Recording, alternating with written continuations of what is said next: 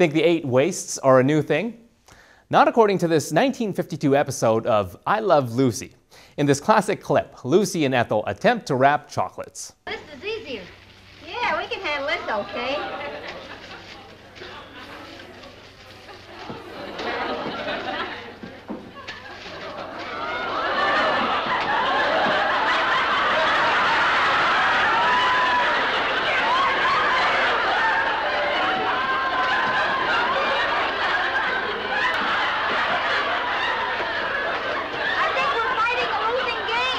So, what have we learned from this scene?